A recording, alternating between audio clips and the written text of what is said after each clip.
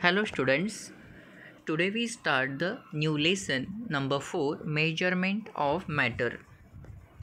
Now main points are given in this lesson. Laws of chemical combination. Second point atom its shape, mass and valency. Molecular mass and concept of mole and last point of this lesson is radicals. Now first of all we see that which part yeah which topic omitted from our syllabus. So first of all can you recall this part is omitted from our syllabus. Clear all of you up to this. No question asked on this topic. Omit this part. Next. Now first point given in this lesson laws of chemical combination. The composition of a substance changes using a chemical change. The fundamental experiment is the regard were performed by scientists in the 18th and 19th century. While doing this, they measured accurately the substances used and form. The scientists Dalton, Thomson, and Rutherford studied the structure of substances and the atom and thus discovered the laws of chemical combination. Scientists could then write the molecular formulae of various compounds on the basis of Dalton's atomic theory and the laws of chemical combination. Here we shall verify the laws of chemical combination by means of known molecular formulae. Clear? Next. One activity given for us. Try this. Now apparatus are given chemical uh, conical flask, test tubes, balance, etc. Names of some chemicals given here that is calcium chloride, then sodium sulfate, calcium oxide and water. Now two steps are given here. In first step, take 56 gram calcium oxide in a large conical flask and put 18 gram water in it. Observe what happens. Measure the mass of a substance form and write similarity do you find and write your final result that is inference. Second activity is given, second step is given. Take a solution of calcium chloride in a conical flask and a solution of sodium sulfate in a test tube. Tie a thread to the test tube and insert in it in the conical flask. Now, seal the conical flask with the with an airtight rubber cork. Weight the conical flask using a balance now next now tilt the conical flask so that the solution in the test tube get poured in the conical flask now weigh the conical flask again and note your observation and final result. Now see on the next page. Observe this picture. What is given here? Verification of law of chemical combination. Observe the figure carefully. First half part is is before the chemical reaction and next observation is given here on this side that is the after the reaction. Now solution of calcium chloride that is CaCl2 in the conical flask and in a test tube solution of sodium sulfate put separately in test tube as well as in conical flask and observe what is the weight showing by the balance. After tilting this conical flask, both the solutions are come close to each other, mixing to each other, come contact into each other and then form the new substances. White colored precipitate is a form that is calcium sulfate and new uh, one more product is formed NaCl means sodium chloride. Observe the weight again. We are concentrate on the weight before the reaction and after the reaction. There is change in the mass. Answer is no. Check that values. Which values we are observing here? 300 and 25 gram before the reaction and after the reaction here same value we observe then we learn about the next point related to this experiment or activity. Define your state law of conservation of matter. Question is asked like this way. State law of conservation of matter. Now in the above activity, the mass of the original matter and mass of the matter newly formed as a result of chemical change are what equal. There is no any change in the mass. Observe the value again. All are getting? In 1785 the french scientist antony lavoisier inferred means concluded from his research that there is no rise or a drop in the weight of the matter during a chemical reaction. This is the final inference or conclusion of the scientist french scientist antony lavoisier what is that final conclusion? There is no rise or drop in the weight of the matter during a chemical reaction. And from this he stated one law name of that law is what? State law of conservation of matter so you mark the answer properly. Start from here. Up to the last. In a chemical reaction, the total weight of the reactants, reactant means the substances used before the reaction, clear? In a chemical reaction, the total weight of the reactants is the same as the total weight of the product means newly formed substances. Product means so total weight of the products formed due to chemical reaction is called omit, uh, omit these two words, cut these two words. Chemical reaction is called law of conservation of matter. Clear? Next. Now on this page, this blue color box is omitted scientist information is given here about the scientist Antony Lavoisier. Omit this box. For your knowledge, if you are interested, read what is given in that in that blue color box. But no any question asked on this omitted part. Clear? Next.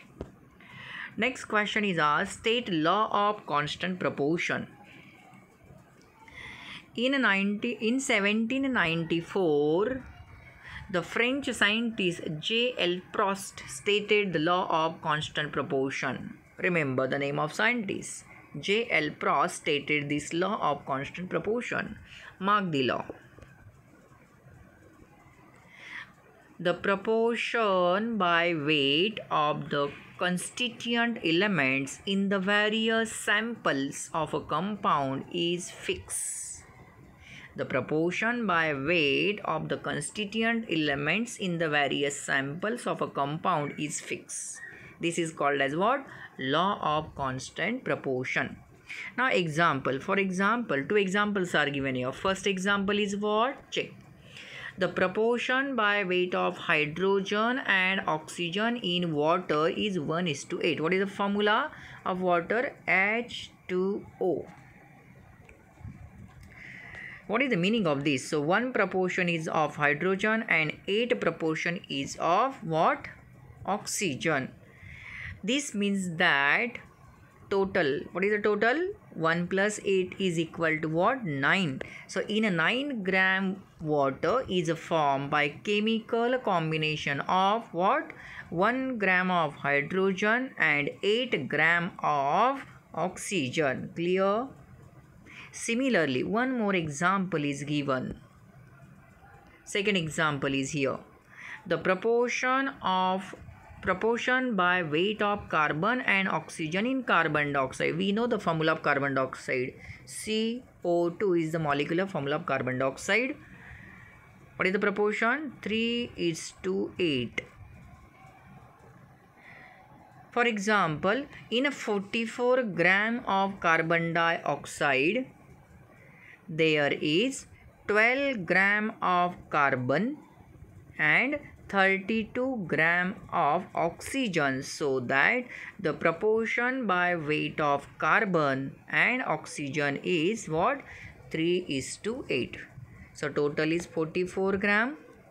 Why we are taking the value here 12 because we know that the atomic mass of carbon is 12 atomic mass of oxygen is 16 but here how many oxygen atoms? Two atoms so multiplied by 2 so 16 to the what? 32 that's why we are taking here 32 if we reduce these two numbers 12 and 32 uh, 32 so we are getting the reduced fraction 3 is to 8 this proportion is not changed. That is always the fix and that's why J.L. Proust stated the above law of constant proportion. All?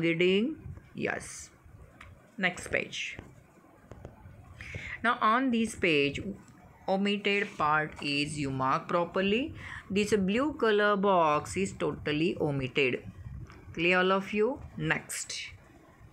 Even next topic is given here on the same page. What? Atoms. Atom size, mass and valency. So some part is omitted from here also. Now check that.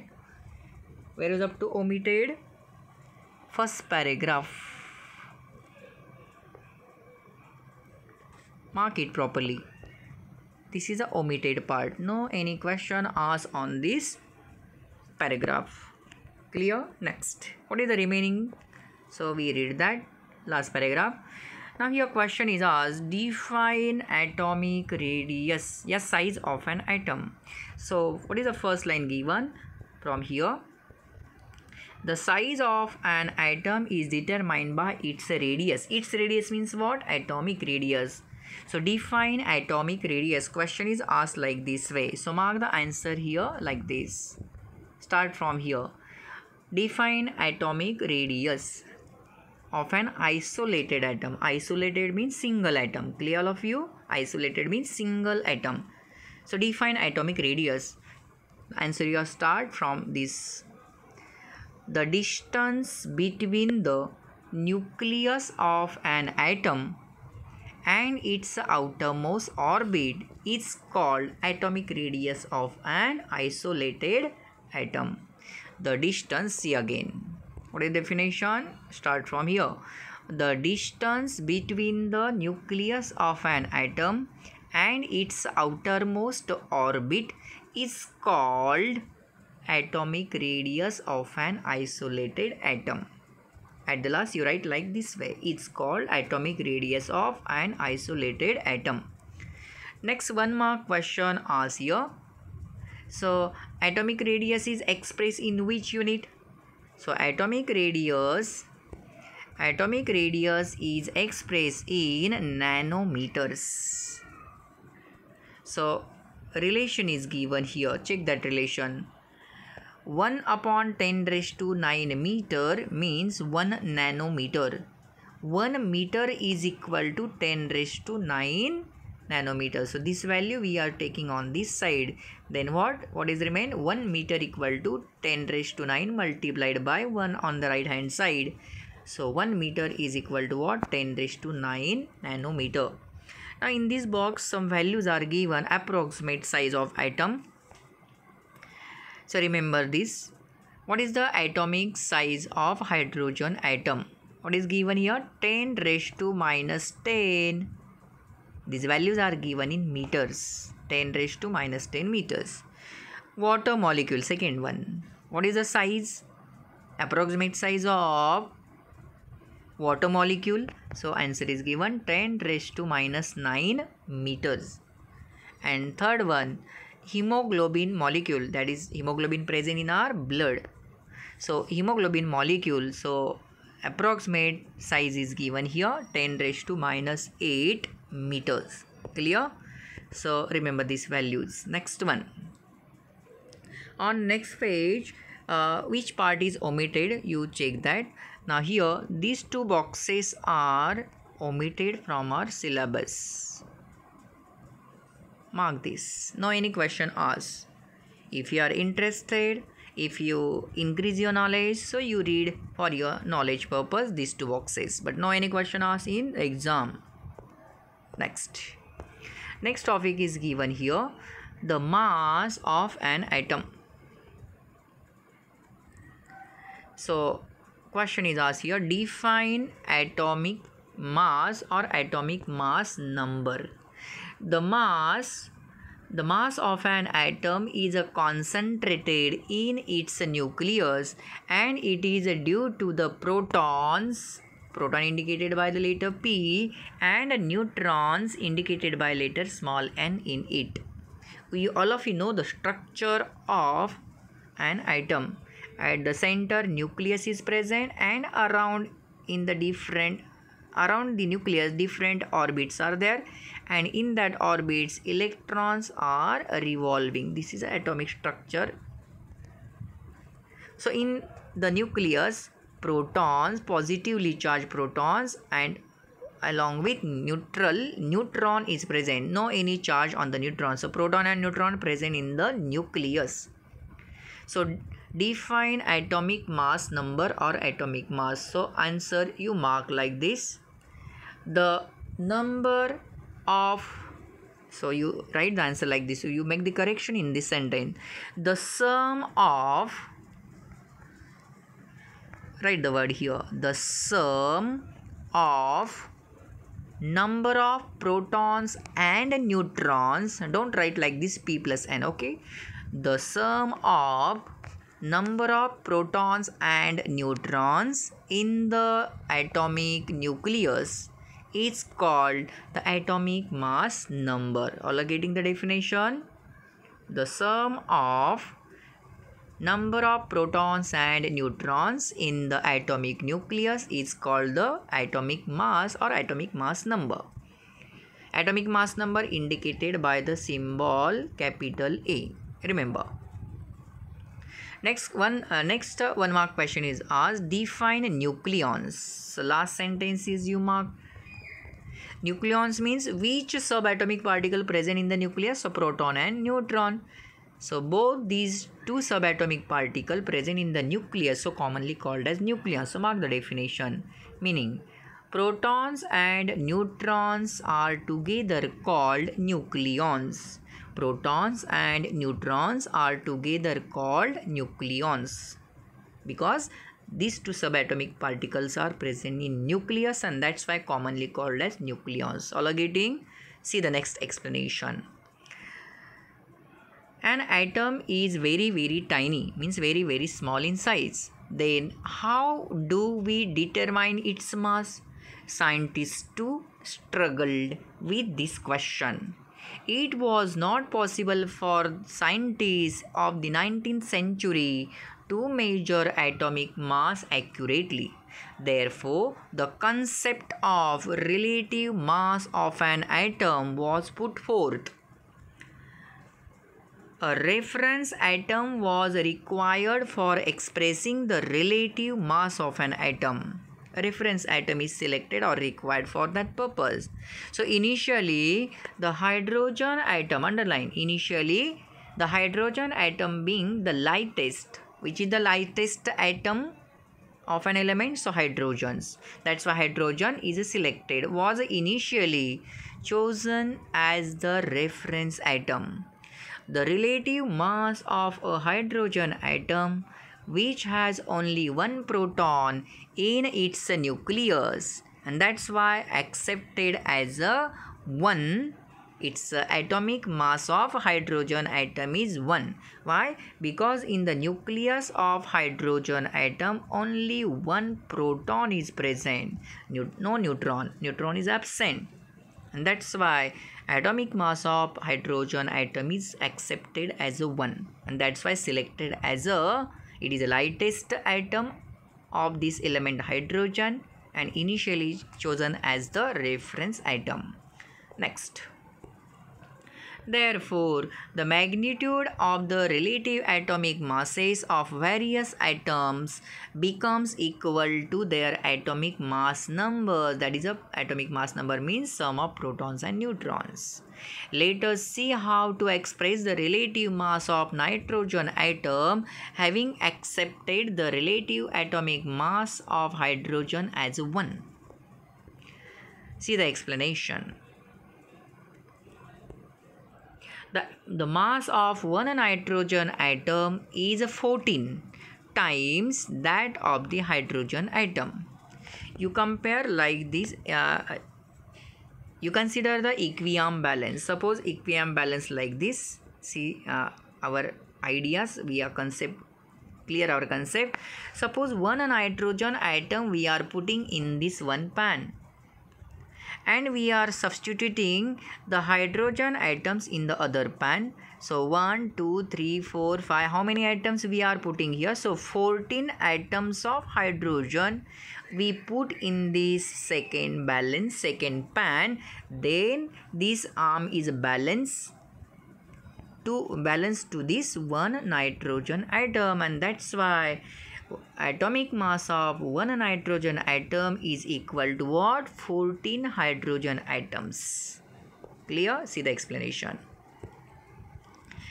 this is how the relative atomic mass of various elements were determined. On this scale, the relative atomic masses of many elements came out to be fractional. Therefore, in the course of time, different atoms were chosen as the reference atom. Finally, in 1961, underline, carbon atom was selected as the reference atom.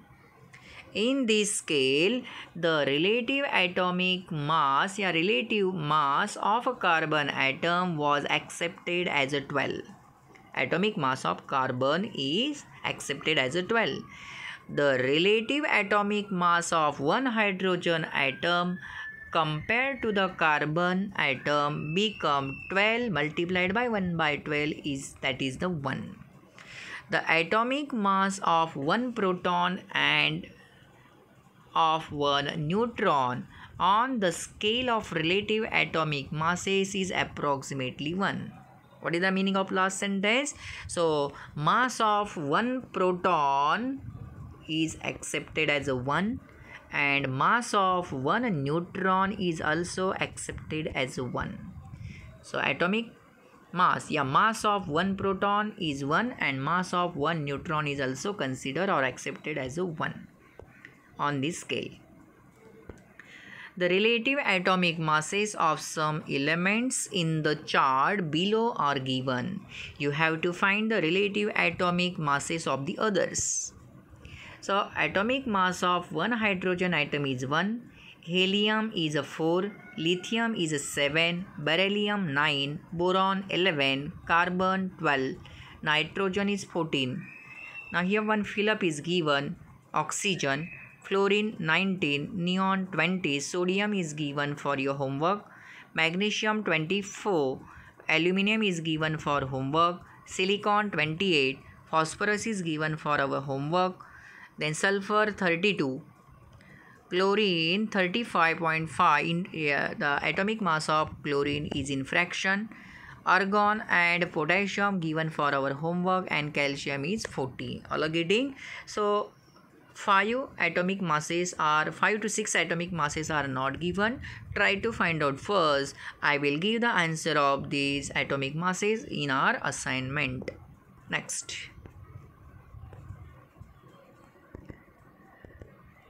clear all of you. So uh, few lines are given on the next page number 50 uh, so you check that. Uh, i will read that page is not uh, taking in our this video. So today we have highly accurate method for measuring the mass of one of an atom directly Hence, instead of relative mass, unified mass has now been accepted as the unit of atomic as the atomic atomic masses that is called as Dalton What is the name of that unit? Unified mass has now been accepted as the unit of atomic mass is called Dalton. So atomic masses are measured in which unit? Dalton. Atomic masses are measured in the unit Dalton. I will show there. Dalton is indicated as letter U. Getting Dalton like a centimeter is what we write in short cm kilogram in short what we write clear meter indicated as a small letter m so in this way dalton is measured in which symbol that is a small u. There is a relation is given between what is the relation between dalton and kilogram? Because it is a mass. So SI unit of mass is kilogram. We know that. That is MKS and CGS unit. So kilogram is the SI unit of mass. And he, what we measured in Dalton? Atomic mass. So what is the relation between these two? Like a, uh, uh, 1 meter means nothing but 100 centimeter. All getting? So that is the relation between these two like this way dalton and kilogram. What is the relation? So 1 dalton is equal to some values are given here 1.660 five three five three nine zero four into 10 raised to multiplied by 10 raised to minus 27 kilogram. This is a relation. 1 dalton is equal to what? 1.66053904 multiplied by 10 raised to minus 27 kilogram. That is the relation between dalton and kilogram. Remember this. This is the last point of this our today's lecture so in this way what we learn today? Today we learn about the laws of chemical combination. That is a law. Check there. Chemical combination. So first law today we learn law of conservation of matter.